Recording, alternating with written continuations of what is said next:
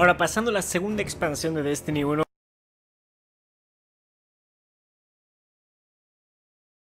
Ahora pasando a la segunda expansión de Destiny 1, la Casa de los Lobos.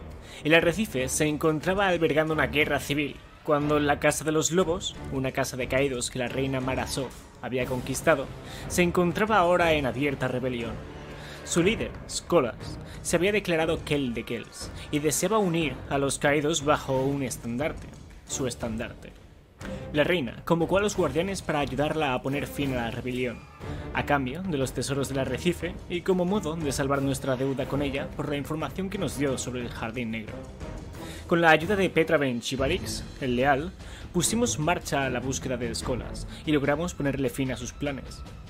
Después de no poder tomar el control de la Casa de los Demonios y la Casa de los Reyes, Skolas intentó tomar el control de la Cámara de Cristal y la tecnología Vex en su interior, Finalmente, lo capturamos en la cima de la ciudadela Vex, impidiéndole convocar a toda su casa a través de los portales del tiempo Vex.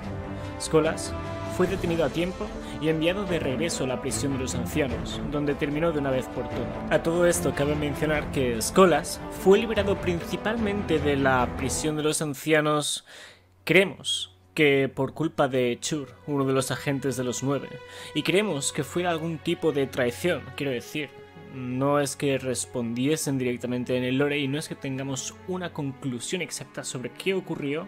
No sabemos si echarle la culpa a los nueve, pero lo que sí sabemos es que se escapó de algún modo y que Chur y los nueve parecían tener bastante que ver. Cuando por fin pusimos fin a la amenaza de escolas, fuimos a la prisión de los ancianos que vigilaba Barix. Barix por aquel entonces Barix el Leal, tiene una historia muy interesante de la que ya he hecho un vídeo al completo.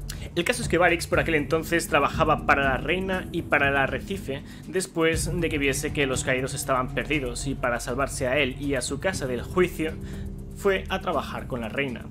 Y por cierto, él sigue queriendo reunir a todas las casas bajo una misma casa y actualmente se ha proclamado Kel de Kells, pero hey, Barix por aquel entonces, vigilaba la prisión de los ancianos y nos permitió ir en busca de varios de los prisioneros y enfrentarnos a ellos a cambio de recompensas de la reina.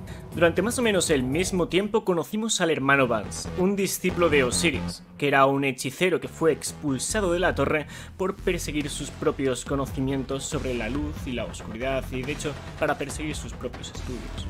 El caso es que Osiris estaba perdido en el tiempo y su discípulo, el hermano Vance, comenzaba a supervisar las pruebas de Osiris con la que los guardianes se iban a enfrentar en torneos de crisol entre los más dignos de los dignos, es decir, los mejores de los mejores jugadores, para encontrar a los más dignos de todos esos y básicamente ponernos a prueba y mejorar todas esas habilidades que tenemos como guardianes.